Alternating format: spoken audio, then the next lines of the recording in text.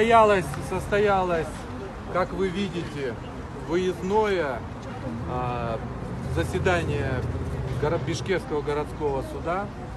А, к сожалению, оно состоялось закрытое, хотя в постановлении суда о назначении вот этого дела значится, что оно открытое. То есть прямое противоречие а, закону об открытости судебного заседания и противоречие постановлению суда о, об открытом судебном заседании. То есть сами судьи вынесли себе провести открытое судебное заседание, но провели его в закрытом режи- режиме за стенами ГКНБ. Это вот самое первое, что я хотел бы вам сказать по поводу этого судебного заседания. Второе, самое важное, что вы ждете, это решение суда. Оно состоялось, и, к сожалению, как я и говорил, а, незаконное решение. Мера пресечения заключения под стражу экс-президента оставлена до 26 августа неизменной. А, Бишкекский городской суд, а, э, вынося это решение, нарушил так же, как и суд первой инстанции, множество законодательных актов Кыргызской республики. Но прежде всего мы говорим, что мы опираемся на Конституцию. Конституция и а, законы гарантируют определенные права нашим гражданам, то в том числе закон о гарантиях деятельности президента гарантирует и а, неприкосновенность экс-президента. Все эти законы, в том числе и Уголовно-процессуальный кодекс, были сегодня нарушены.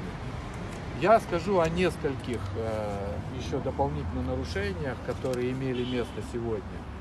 Э, у суда в материалах дела, которые мы сегодня, кстати, увидели, а не в тот день э, в суде первой инстанции, опять же, который проходил здесь, в стенах ГКНБ, материалы, в которых э, нет основания для проведения э, судебного разбирательства в отношении э, экс-президента. То есть вы помните постановление Жугурку Кенеша? Вы помните, что оно было? Ну, правда, оно не дает также оснований, но этого постановления в этих материалах нет. Ну и еще один момент. Я уже говорил, так и есть. Все документы, которые должны были быть подготовлены а, в порядке, установленном уголовным процессом, были уже заранее подготовлены. Тогда, когда суд принимал, а, э, суд первой инстанции принимал решение. То есть и э, постановление, и уведомление, и э, ходатайство о э, значит, мере пресечения, все эти документы были заранее подготовлены.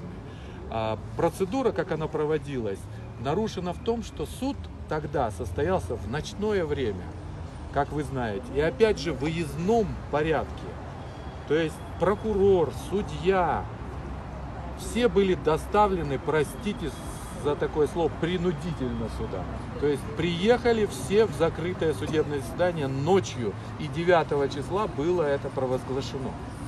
Ну а сегодня суд на это не обратил внимания. Кроме того, и сам, собственно говоря, нарушил множество норм права. Порядок, который должен был сегодня быть открытым, тоже нарушен. Ну, э, то, что Уголовно-процессуальный кодекс э, провозглашает, что президент, закончивший свои полномочия, заметьте, я не называю даже экс-президент, президент, закончивший свои полномочия, не подлежит задержанию в подозрении преступления. Закон уголовно-процессуальный предусматривает, он не подлежит аресту, его все равно задерживают и арестовывают. Мы говорим о том, что